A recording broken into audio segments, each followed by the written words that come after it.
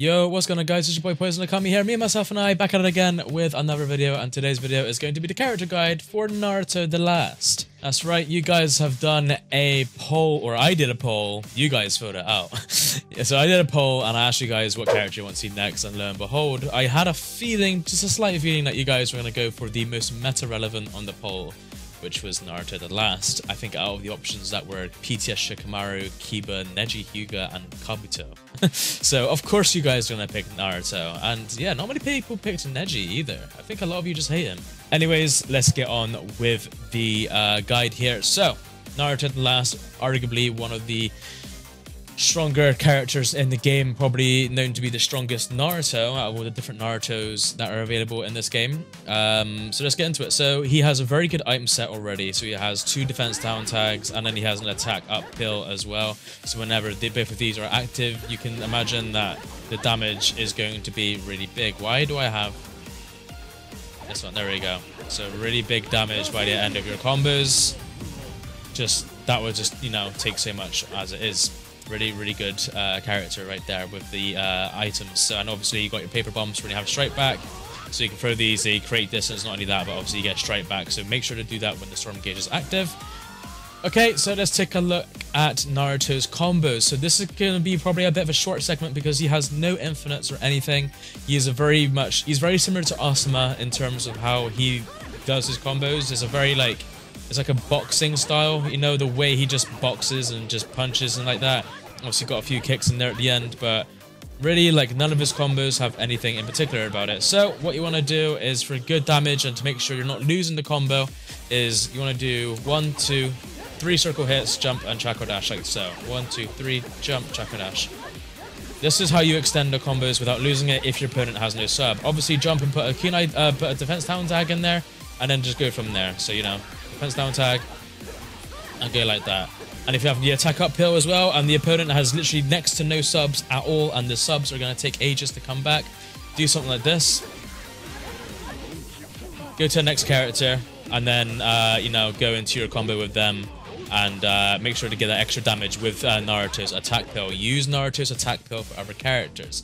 To do this, you will need to know how to do combo switch tech like so. If you want to know how to do combo switch tech, I do recommend looking at the tutorial section of my YouTube channel. There you will see all the tutorials I've done on Naruto Storm 4 so far, and somewhere in there you will learn about different types of switch tech combo switch tech being one of them. So have a dig through, take a look, watch the videos, and you will see what you are looking for. So in terms of like combos and max damage combos, that is pretty much what I can think of in terms of the reality of how you'd land them in a fight. In a fight, when you get into a situation where your opponents have no subs, you will see yourself doing this or this. This is your main way of just getting consistent damage in. If you do anything beyond that, like the down combo, you're forced to juggle them or you get forced into an air combo like such. If you try to do it in an air in a neutral combo, he jumps out the neutral combo late, like so, so it doesn't really work as well. Believe it or not, he can actually block that, so we won't even bother doing that. And the up combo forces it into a juggle, which is okay because he still hits his uh, things on a juggle. That just means you have to do his IC3. So IC3 and then juggle that way. Yeah, if you do the up combo, you just lose them. So, you know, if you want to do a juggle, that's absolutely fine. Just make sure that you keep doing the IC3 to do your combo extensions. Okay, so let's take a look at his combos on block. I'm gonna make this an actual segment for more characters because I feel like you guys should know when your characters are safe on block and when they're not safe on block as well.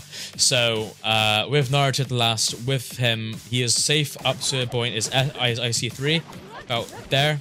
When he does the little roundhouse kick, some characters like Mifune, uh, characters with fast tilts like Mifune and um, Tobi, Great Ninja War Tobi, I couldn't think of the name. It's Great Ninja War Tobi, Mifune, anybody that has an literally instant tilt, someone like Stormfree Madara, you're good up until there. So two circle hits is where you're good. Anything after that, those type of characters can tilt out of there.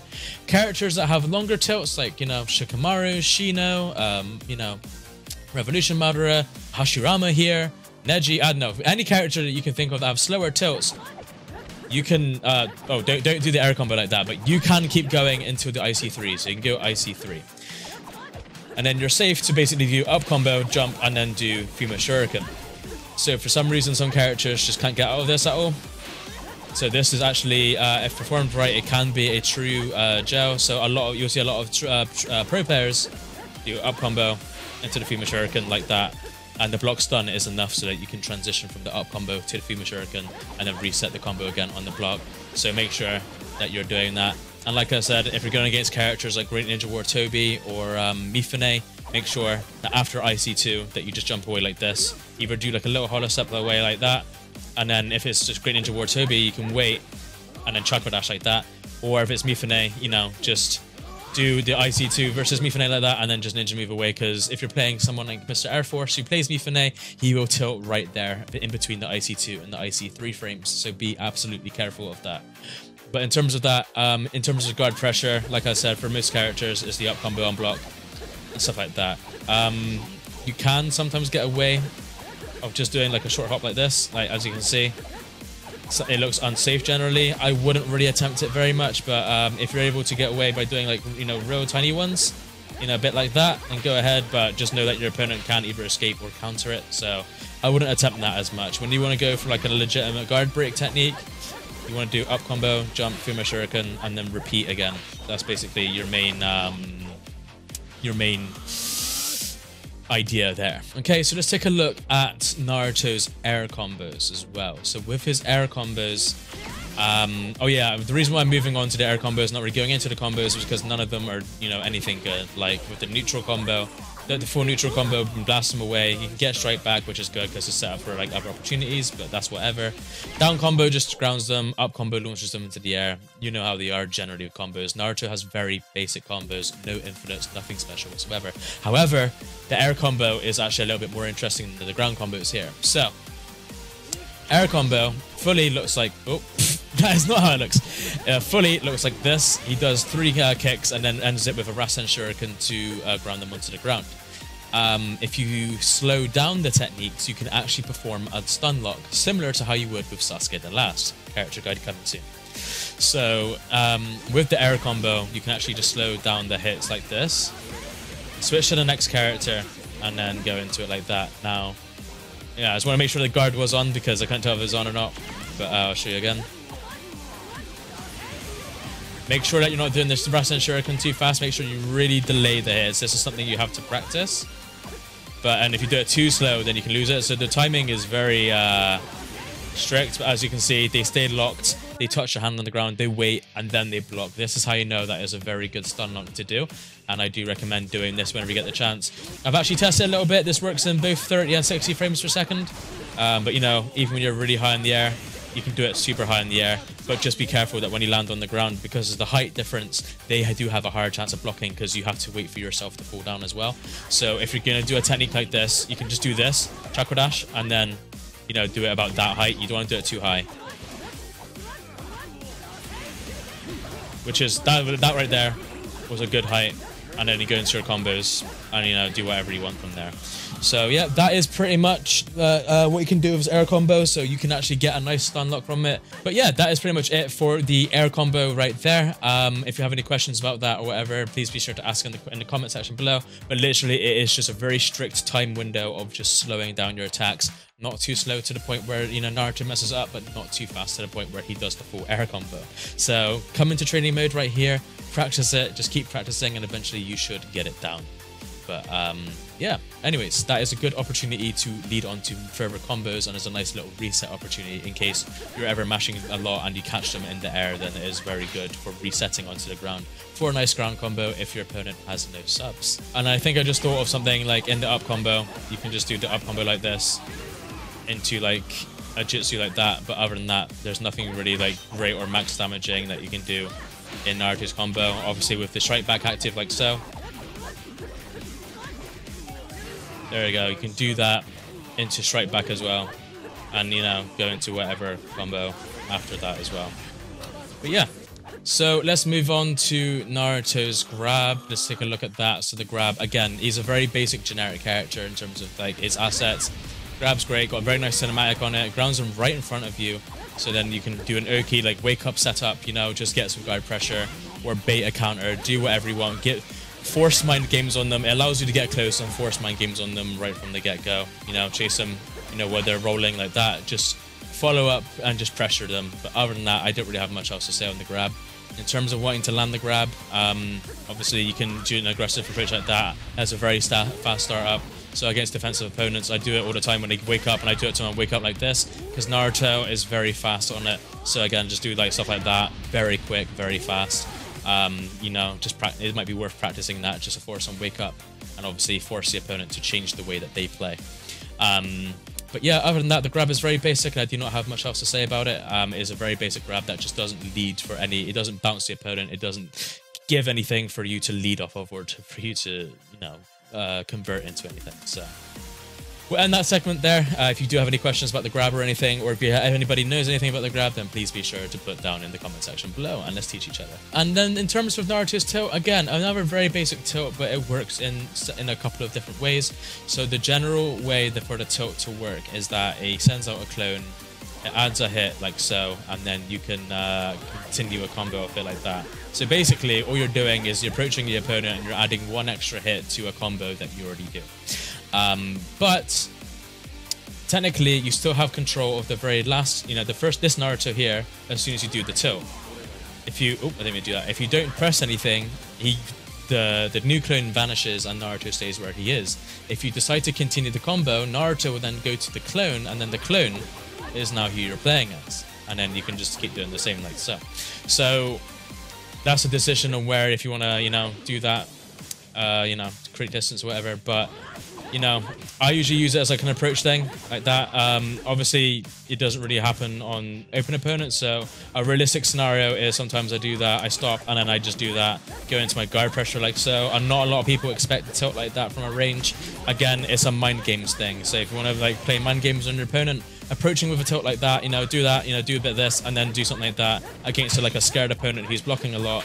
You may, you might find, you might find yourself, you know, really, um, you know, surprising yourself. Not only that, but holo stepping shuriken like that as well, uh, it really helps as well. It's like a little stylish thing that I do, but it actually catches people because when people see um, when people see the, st the stylish um, holo step shuriken like this, they don't expect the tilt, so they release a block and then get hit by the tilt. I do this with a lot of characters, and it surprisingly works half the time. Um, so yeah, if you want to know how to holo step, again, tutorial section on the, on the channel, go to that, you'll find what you're looking for there. But in terms of the tilt, there's nothing really else. All it is is just an introduction to Naruto's combos. That's pretty much it. As I've said, Naruto has a very basic and very simple moveset, but the reason why it's so useful is because he has outstanding qualities such as great guard pressure against regular characters. Regular characters cannot tilt through this. Not only that, but he's just got really good assets, you know. And then obviously, let's move to his ninjutsu. So we're talking about why Naruto is as good as he is, It's because of his ninjutsu. So his jutsu is good when it's on hit, as well as when it's uh, not on hit. So when it's on block. So obviously on block, you can switch tech it like that and use it to approach to continue your guard pressure, like so, and do some amazing guard pressure like this, open up your opponent and whatever. So it's good for that. So it's good to run alongside the jutsu like this. Like I always say in my coaching videos, make sure to run alongside jutsus like so. Run with them and it can give you opportunities to do guard break combos like such. So be sure to do that. And then another um, thing about the jutsu is that you can charge it like so. Uh, as you can see, it does quite a lot. Now, the tracking of these things ain't great, so if you were to sidestep, you can sidestep the, the clones really easily. The tracking on them is not very good. It's nothing like Sasuke's Chidori, for example. Um, but uh, the clones are pretty good. And then on hit, it does knockback like so, which is really good as well. Uh, you only get the chance to really hit one before like the others can get to hit it um, which is a shame because obviously strike back. But I'm pretty sure when um, there's no strike back active or whatever. Oh no, you only do get one hit by one. For some reason, I thought in my head that you can get hit by all of them, but you can't. Um, so yeah, you just get hit by the one, and then you want this when you have strike back, obviously, because when you have strike back, obviously it leads you to go to other combos like this, and then you know go to your other stuff. So yeah, you can do stuff like that as well. Uh, but in terms of Jitsu, it is really powerful, but obviously it's really powerful because it stops chakra dashing opponents. So if you were to chakra dash me, he would get foiled by it, he would get destroyed by it. So it's good for shutting down aggressive players. However, it does lack priority in the Jitsu department. So with Jitsus, it doesn't have. It's the same as Hinata's Jitsu in terms of. I mean Hinata's Air Palm Jitsu, in terms of it gets cancelled out by other Jitsus, other projectile Jitsus, more so. So, as you can see, both my clones got destroyed by the dragon. Now the reason why the dragon didn't hit me is because the tracking messed up and it missed. But no, just wait for Hashirama to do it again, just so I can show it. As you can see there, I had to sub the dragon, and, hit, and my clones got destroyed by the dragon. So no matter how many clones I throw at it, they will just get destroyed by his wooden dragon. So be sure to keep this in mind. This also goes for like um, fireballs as well and things like that. So just be careful not to uh, use that against those type of jitsu. But that is pretty much it in terms of Naruto. The last um, his the, the the reasons what makes him so high up on the tier list is because he's got a very good and annoying jitsu. It's great for wake up pressure and general pressure, and then his combos are very pressurizing on block. Okay, so now because we looked at his basic things and everything, let's go on to his awakening mode. Sadly, Naruto's awakening mode isn't great. so his awakening mode is very basic. It's got no com no no uh, infinites or anything. I've went through and tested. You know, they're all all the hits. You know, they're all very like short stunned. You know, no matter what I do, it's just not under a stun or anything like that. Um, he's got a very generic um, Jitsu as well. Shoots a tail beast bomb, doesn't travel very fast. The tracking probably isn't very good either. His tilt, obviously, throws uh, these planetary little Rasengans whatever, Rasen Shurikens no matter how much you mash the circle button, it doesn't really do much damage, or, you know, it doesn't... I mean, the damage is decent, but when you uh, hit circle or whatever, it doesn't really do anything else. It's a one-hit thing, and then his grab is the same as all of his other Awakening grabs. It's just very simple. It's just this one just grounds them. Other than that, his combos are very generic. Got the one ground combo that... Uh, sorry, one air combo that grounds them as well, sorry. And, uh, yeah, he's got different... He's got up combos and stuff. He's got down combo as well. So, you know, that's all different. But um, one thing you can do is actually do a forced landing frames combo or guard manipulation combo, I like to call it. Like so. Oh, wait, yes, it actually, it actually has to be blocking. Hold on. So do it like this.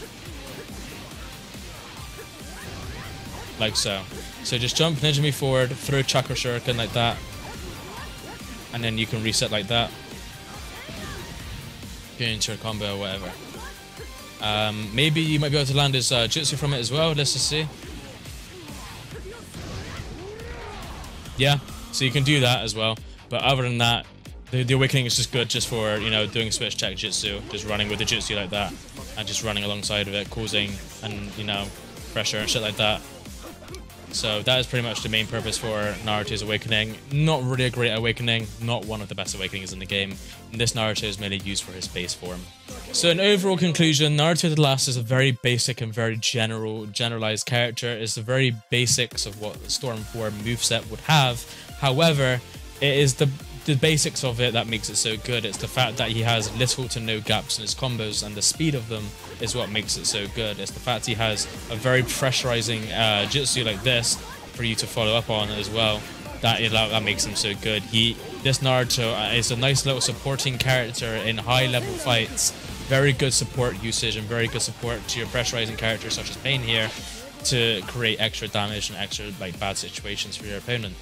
But yeah, a team that I like to use is actually PTS Shino, Naruto, and Pain together because I like using PTS Shino with two strike backs. I feel like there's a lot of damage potential, and Naruto Last is a really good fit for Shino's pressure and combo pressure. Really just complements Shino and Pain together. I feel like these three are a very nice, aggressive team that I can use. But anyways, that is basically it for Naruto Last. That is basically why he's a good character. And if you do not use Naruto Last, this is all the reasons as to why you should use him. If you need any more reference, I recommend going looking at very top level high level first to fives in gameplay and you will see Naruto the Last does get used quite often and he's a very very strong character. Anyways, as always, it's been a boy Poisoned Okami. Matane.